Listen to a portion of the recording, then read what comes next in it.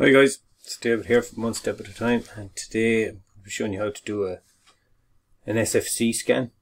Um, the reason I'm doing this is I've been having kind of bug issues or random shutdowns on Windows but uh, hopefully this will help.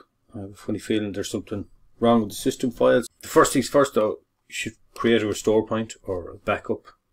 Um, it only takes a couple of seconds so it might be a bit longer for the backup, but the restore point only takes a minute or two, so it'd be worthwhile doing in case something went wrong or you had any issues. So that said, uh, just press Windows X. Into command prompt admin, say yes when the prompt comes up. And then in here, I want to run, if you put um, SFC forward slash and you put scan now in. It'll scan and fix it. What I do is I tend to run a verify and find out if there is an issue. And if there is an issue, then I'll run a scan DISM.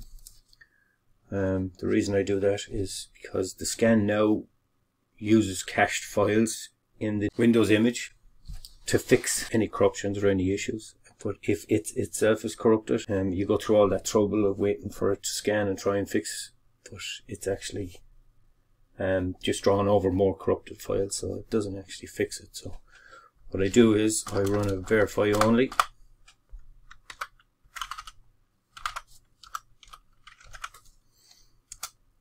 And this can take a little while so I'll let it run through uh, pause it and then I'll come back if we find any issues. Okay guys it's finished its scan and as you can see it has found some violations so I'm just going to still do the DISM uh, on the Windows system image just to see if there is anything in there as well. So um, to do that, I'm going to type it out. I'll just show you. I'll just have to copy and paste it in there.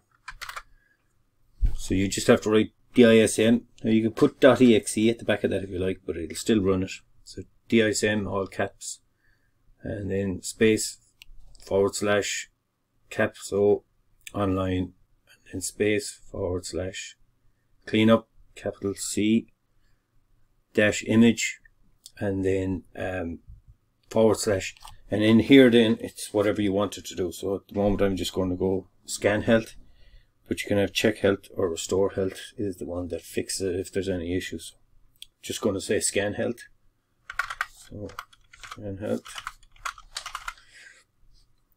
Um, try to just hit enter and it'll run through its very same as the uh, SFC and it'll check take a little while um, I'll just show you this bit up. Look like there's nothing happening for a while. Okay as you can see. And it'll go through the same thing and it'll detect if there's any corrupt files in the Windows system image.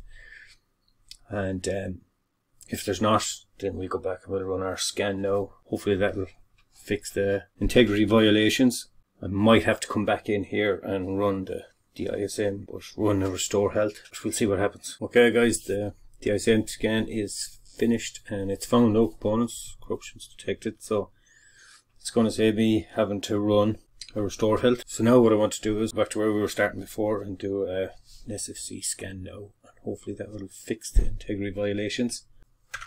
Let's see. Don't know what the hell happened there scan now. Same again guys, I'm going to have to just pause this while it goes through the motions and I'll come back to you and we'll see what's on it. Guys, finished doing its scan now and it's saying it's um, found corrupt files and successfully repaired them. So hopefully that'll um, hopefully that'll do it. What I do is I'm going to restart my system and then I will run through and I'll do another scan verify just to make sure everything's good. It is, hopefully that'll have fixed all my issues and any you're having. So if you like the video, hit the like, subscribe if you want guys, and I will talk to you in the next one. Cheers, bye.